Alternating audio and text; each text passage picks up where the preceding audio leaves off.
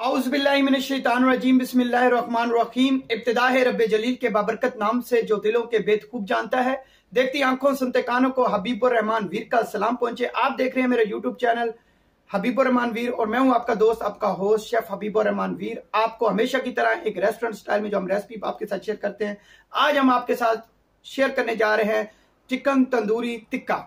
Chicken tandoori tikka जो आपके साथ रेसिपीज़ इसमें आज आपके साथ शेयर करने जा रहे हैं। रेस्टोरेंट स्टाइल में हम जर्मन में कैसे बनाते हैं तो वो रेसिपी आपके साथ शेयर करते हैं। तो अगर आप मेरे चैनल के ऊपर न्यू हैं तो प्लीज़ मेरे चैनल को सब्सक्राइब कर ले और साथ ही लगे घंटी के बटन को प्रेस कर दे ताकि मेरी हर आने वाली नई वीडियो का नोटिफिकेशन आप तक बर वक्त पहुँचता चले।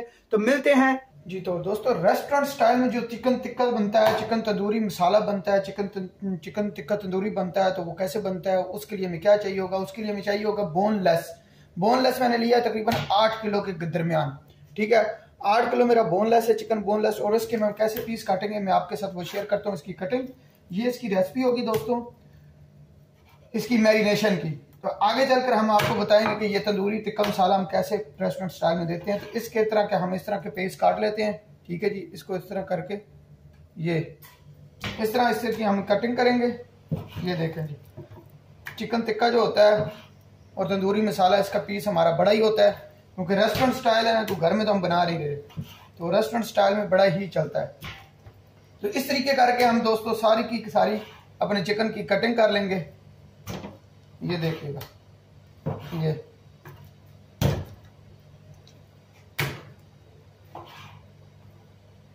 आगे चल के इंशाल्लाह मैं आपके साथ लैम टिक्का, मटन टिक्का, यानी कि लैम मटन को कहते हैं।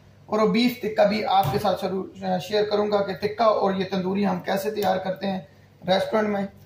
तो जैसे कि आपको पता है कि आप रेस्टोरेंट में मैं आ चुका हूँ तो इन जो है ना आपके साथ बहुत सारी रेसिपी शेयर करता रहूँगा साथ साथ। तो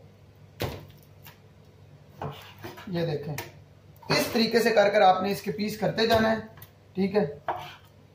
ये देखें इस तरीके से आपने इस तरह की कटिंग कर देनी है, सारे हम आठ किलो चिकन की, और फिर हम आपको दिखाएँगे आगे इसके मैरिनेशन यानी कि मसाले हम कौन कौन से इस्तेमाल करते हैं और हमारे अपने मसाले हैं दोस्तों रेस्टोरेंट स्टाइल के।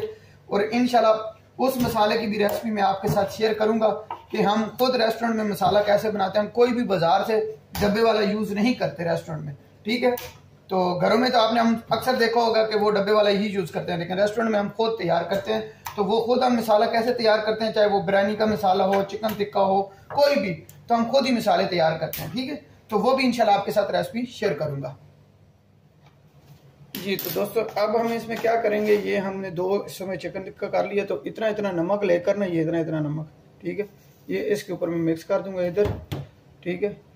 इसको अच्छे तरीके से हम मिक्स कर लेंगे और मिक्स कर कर इसको हम जो है ना, तकरीबन इसी तरह छानने में ये मैंने ये डाल के रखा हुआ है, ताकि इसका जो पानी शानी है वो निकल जाए अच्छे तरीके से, ठीक है? इस तरीके से छानने में ही डालकर हम इसको रखेंगे।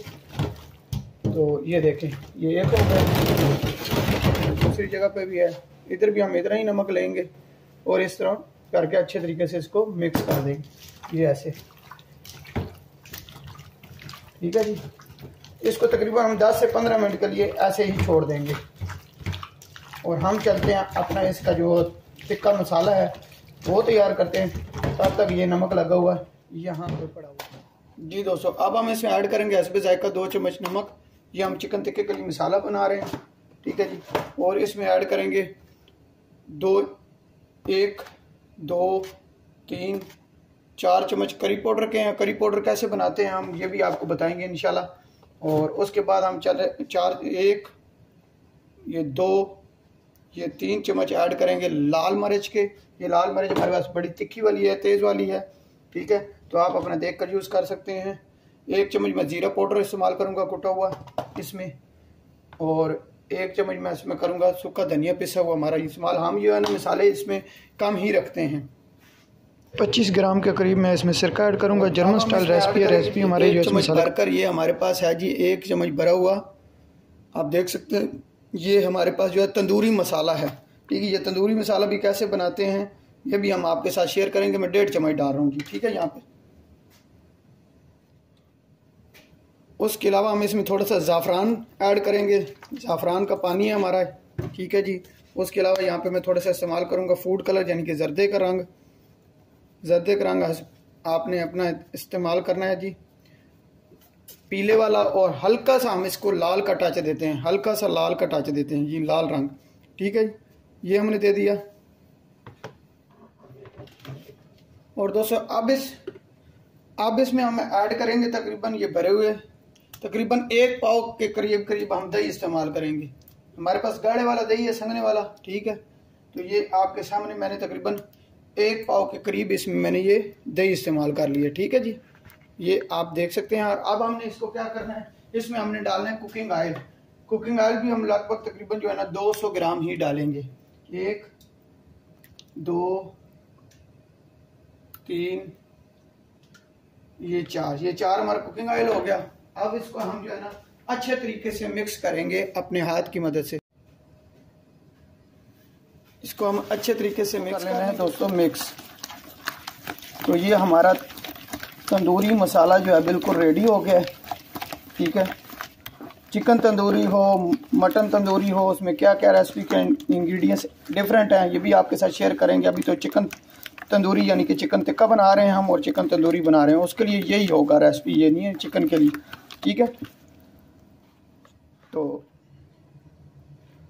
अब हमने इसमें चिकन टिक्का डाल दिया और इसको अच्छे तरीके से हमने इसको करना है दोस्तों मिक्स एक टेबल स्पून मैंने अदरक लहसुन पेस्ट ऐड किया इसमें। अच्छे तरीके से मिक्स करने के बाद हमने इसको एक बाल्टी में डालकर जो है ना फ्रिज में रख देना है। ठीक है?